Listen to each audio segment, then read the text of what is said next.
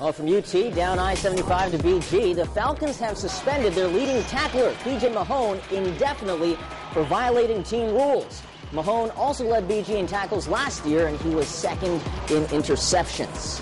How's some high school ball? The Jim White Honda Game of the Week is decided tomorrow. So get those votes in by clicking on foxtoledo.com. Right now, St. Francis St. John's is leading, but not by much. And that's your Blitz. We'll be right back.